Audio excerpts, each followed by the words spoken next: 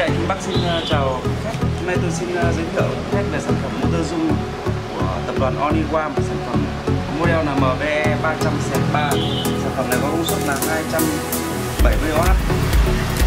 Số vòng quay là 3.000 vòng trên phút.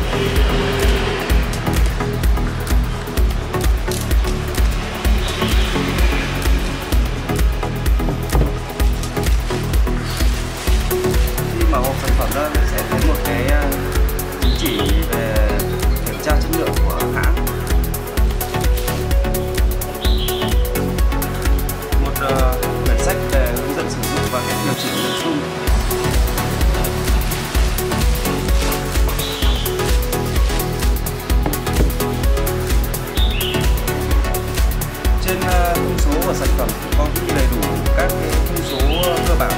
Sản phẩm này sử dụng điện 3 pha 220V hoặc 3 pha 380V lực dung là 3 kN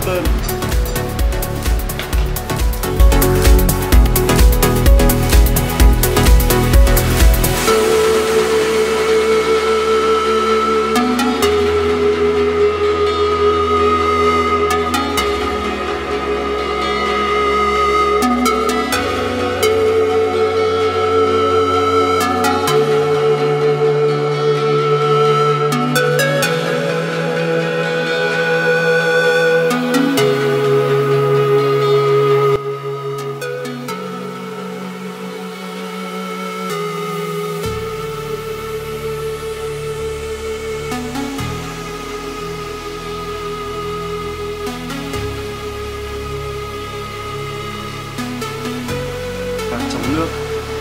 Chống nước dung có một uh, những cái phụ kiện đi kèm là cái cách chuyển đổi uh, các uh, cầu đầu dây để chuyển đổi từ điện 3 pha 380V sang 3 pha 220V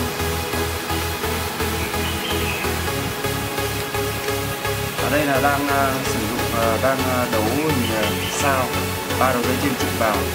Và khi các bạn muốn à, chuyển sang à, ờ, 3 pha 220 các bạn có thể tháo đầu dây này ra và chuyển đổi từ cầu này sang cầu này.